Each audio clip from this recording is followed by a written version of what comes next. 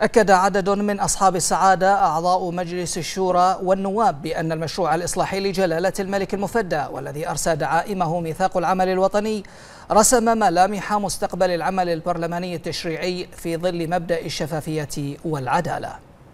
وطني بحريني بامتياز. نقل وساهم في نقل البحرين نقلة نوعية. آه، وضع البحرين في مصاف الدول آه، الديمقراطية المتقدمة.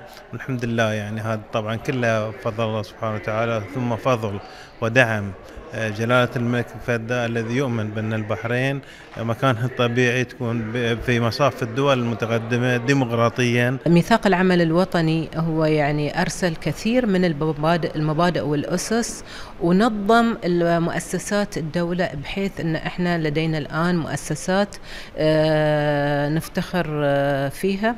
وفعلا يعني الحين البلد قاعدة خطت خطوات حسب ما نص عليه عليه ميثاق العمل الوطني. سواء كسلطة تشريعية أو مؤسسات أخرى مثل المؤسسات الحقوقية أو مؤسسات رقابية. واليوم أنا طبعا أسعد بكثير لما نشوف إحنا اليوم الدور اللي هو مناط بالسلطة التشريعية في البحرين والدور اللي تقوم به السلطة التشريعية اليوم كجزء أساسي من ميثاق العمل الوطني الذي جاء نتاج إلى المشروع الإصلاحي من قبل صاحب الجلالة الملك المفدى ونرى اليوم الدور اللي ساهمت فيه السلطة التشريعيه سواء في المجالات السياسية المجالات الاقتصادية المجالات الاجتماعية من حيث سن التشريعات المناسبة والتي أتت متوافقة تماما مع هذا الميثاق وأتت أيضا متوافقة مع رؤى جلاله الملك بالنسبة إلى ما يخدم المواطن البحريني.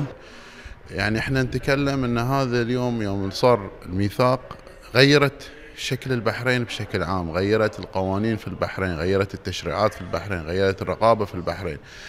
عكست على تطورات كثيرة يعني أوجدت فرص اقتصادية أوجدت فرص تجارية أوجدت فرص عمل.